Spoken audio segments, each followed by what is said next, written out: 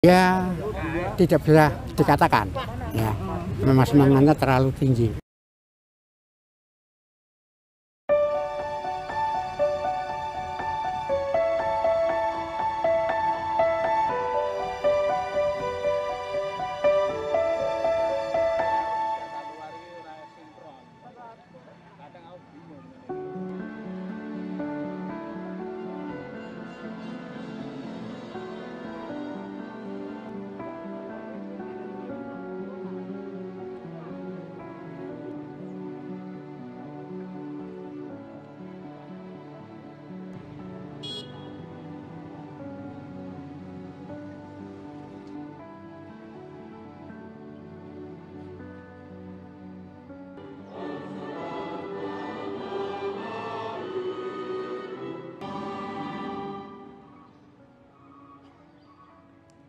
Uhum.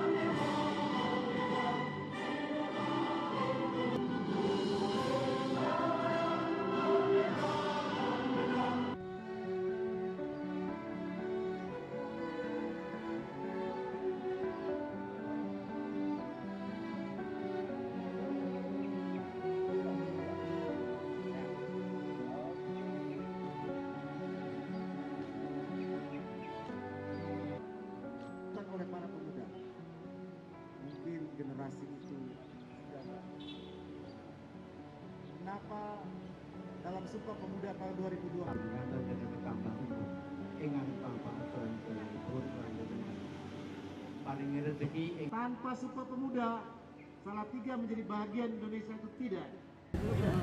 Seberapa Semangat besar terus. semangatnya dalam memperingati Sumpah Pemuda? Pak? Ya, tidak bisa dikatakan. Ya, memang semangatnya terlalu tinggi, betul-betul tinggi. Pak, sudah berapa lama Pak pengayuh tukang becak? Saya sejak tahun 70, Sekarang, ah, padahal sekarang usia Bapak? sudah 72. Ya saya melihat bahwa Sumpah Pemuda ini dari tahun ke tahun seperti semakin lama semakin redup dan itu akan akan menjadi satu masalah di kemudian hari karena warisan terhadap NKRI dan kebangsaan Indonesia berawal dari situ. Nah karena itu hari ini saya mencoba membangkitkan kembali bersama teman-teman para tukang beca ini karena biarlah teman-teman tukang beca ini juga akan meneruskan dan mewariskan semangat kebangsaan Sumpah Pemuda itu kepada anak cucu mereka.